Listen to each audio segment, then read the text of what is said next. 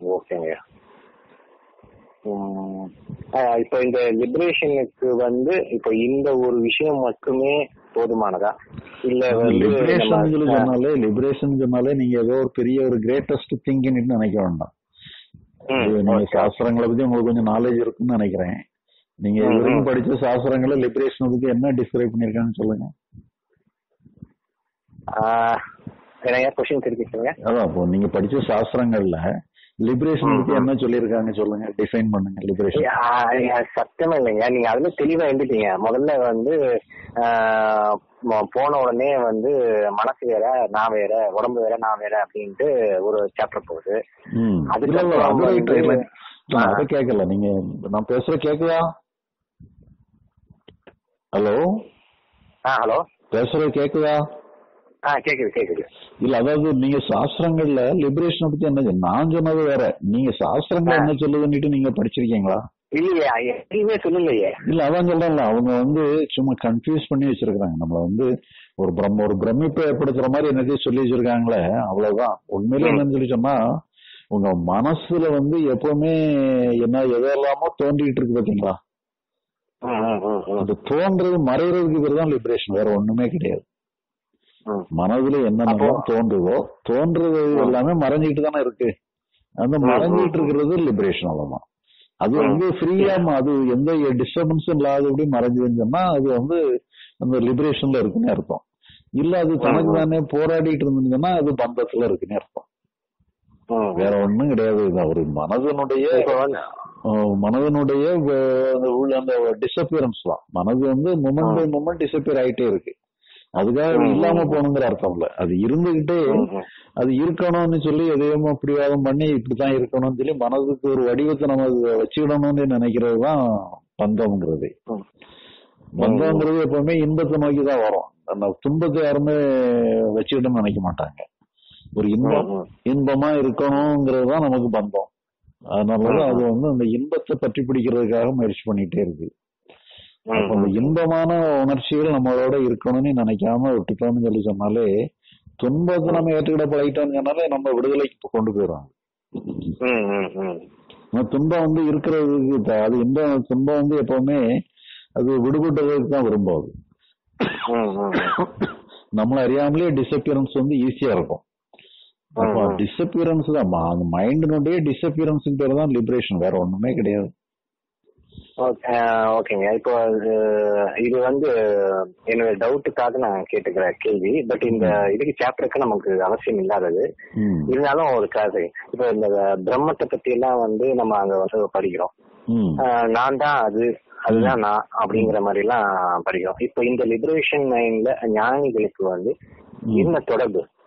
இப்போ இப்போ சன்னியாசிகள்கிட்ட வந்து நான் பாடம் படிச்சுட்டு இருக்கேன். அங்க வந்து நான் தான் பிரம்மன் அப்படிங்கிற மாதிரி அந்த படிப்பு தொடர்ந்துகிட்டே இருக்கு. அதே சமயத்துல வந்து உருவ வழிபாடு முறைகளும் அங்க தொடர்ந்து வந்து பண்ணிட்டே இருக்கோம்.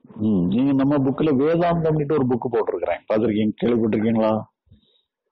இல்ல ஜெயகாந்த் அவர் கேள்விப்பட்டிருக்கேன். உங்க இதுல அந்த புக்கு தெரியலங்க எனக்கு?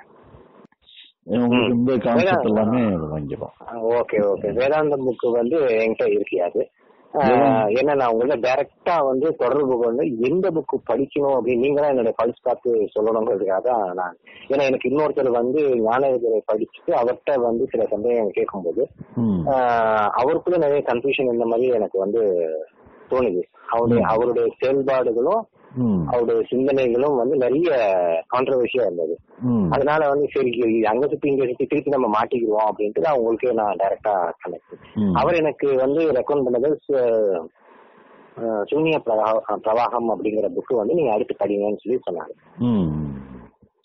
சூன்ய பிரவாகம்லாம் வேண்டாம். நீங்க ஞான விடுதலை முதல்ல படிங்க. ரெண்டாவது வந்து கவலைகள் அனைத்திற்கும் தீர்வு. மூணாவது. வந்து தியானத்தை விடு ஞானத்தை பெறு நாலாவது வந்து ஞான பட்டறை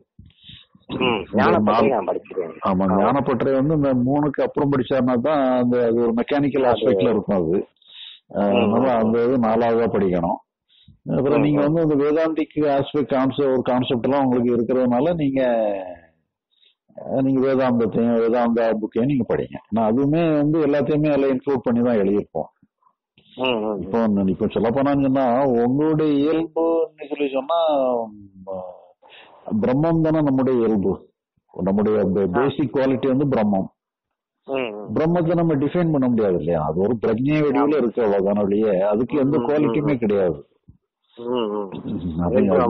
ஆமா. அந்த அது வந்து ஒரு அது விவரிக்க முடியாத தன்மையில ஒரு ஒரு பேசிக் குவாலிட்டியா இருக்கு. அப்புறம் அது மற்றது எல்லாமே அதனுடைய வெளிப்பாடு தானே? வெளிப்பாடுகள் வந்து இப்ப இப்ப நம்ம வந்து நான்ஸ்லயே நம்மள ஃபீல் பண்றோம். நம்ம என்னென்னலாமோ ஃபீல் பண்றோம். நமக்கு உடல் இருக்கிற மாதிரி ஃபீல் பண்றோம். மனசு இருக்கிற மாதிரி ஃபீல் பண்றோம். ஆஹ் உணர்ச்சிகள் இருக்கிற மாதிரி ஃபீல் பண்றோம். இதெல்லாம் அதனுடைய எக்ஸ்பிரஷன் அந்த ஆன்மாவினுடைய எக்ஸ்பிரஷன் அது.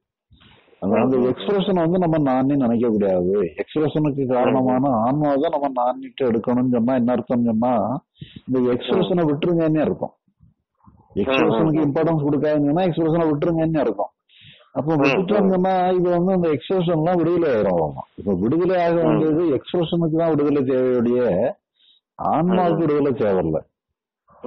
அவங்க ஆன்மாங்கிற பேரை சொல்லிக்கிட்டு நம்மளுடைய மனதையோ மன உணர்ச்சிகளையோ விடுவிட சொல்றாங்க அவ்வளவுதான். இவங்க நிறைய என்னன்னா வேதாந்தி கான்செப்ட்ல என்னன்னா அந்த ஆன்மாவே நான் வந்து ஃபீல் பண்ணிடுவேன்னுட்டு சொல்ல ஆரம்பிச்சிடுறாங்க. ஆமா ஆமா. அது அது அங்க வந்து அது எப்படி ஃபீல் பண்றது? ஜாஸ்தி. ஃபீல் பண்ணக்கூடாது ஃபீல் பண்ணவே முடியாதுங்கிறத எப்படி ஃபீல் பண்ண முடியும்? அதான் வந்து. எல்லா ஃபீலிங்க்கும் ஆதாரமானது ஆன்மான்னு சொல்லிட்டு பிறகு அதை ஒரு ஃபீல் பண்ணணும்னு சொல்லி சொல்லும் பொழுது அது சரியில்லாம போயிருதுல்ல.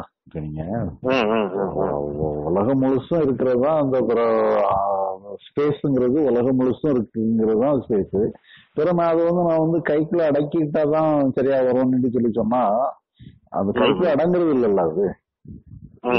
அந்த மாதிரி என்னன்னா அது அதுக்காக நம்ம எதையும் எதுலயுமே லாக் ஆகக்கூடாதுங்கிறது தான் இப்ப நீங்க கான்சியஸ்னஸ்லயோ மனசுக்குள்ளேயோ உடம்புக்குள்ளேயோ நீங்க லாக் ஆகாதீங்க. அதை. விட்டுருங்கன்னு சொல்லும் பொழுது லிபரேட் ஆயிருது அப்போ இருக்குன்னா. மனசுனுடைய விடுதலை தான் லிபரேஷன்ங்கிறது அதுக்கு வந்து ஆன்மாங்கிற பேரை சொல்லிட்டு அந்த லிபரேஷன் கொண்டு வராங்க அவ்வளவுதான். அதுக்காக நம்ம ஆன்மாவை அறியணும்னுட்டு சொல்லி அவங்க யாருமே சொல்லல. பாத்தீங்கன்னு சொன்னா ஒரிஜினல் டெக்ஸ்ட் பாத்தீங்கன்னு சொன்னா எதையுமே ஆன்மாவை அறிஞ்சிட முடியுங்கிற மாதிரி எல்லாம் சொல்ல மாட்டாங்க. இந்த விளக்கங்கள் சொல்றவங்க ஆன்மாவை அறியணும்பாங்க. நீ ஆன்மாவை கொண்டு ஆன்மாவை அறியன்னு தான் அதோட சாஸ்திரங்கள் அப்படிதான் சொல்லுது. ஆன்மா வச்சு அதுக்கு ஆன்மா வச்சு தான் ஆன்மா அறிய முடிய முடியும். நம்ம கான்சியஸ்னஸ் வச்சுலாம் ஆன்மா அறிய முடியாது. நம்ம மனசு வச்சு அறிய முடியாது எதையும் உடலை வச்சு அறிய முடியாது அறிவை வச்சு அறிய முடியாது. ஆன்மா வச்சு தான் ஆன்மா அறிய முடியுதுங்கன்னா என்ன அர்த்தம்? அது வந்து அப்ப நம்மளால அறிய முடியாதுங்கிறத இன்டைரக்டா சொல்றாங்க.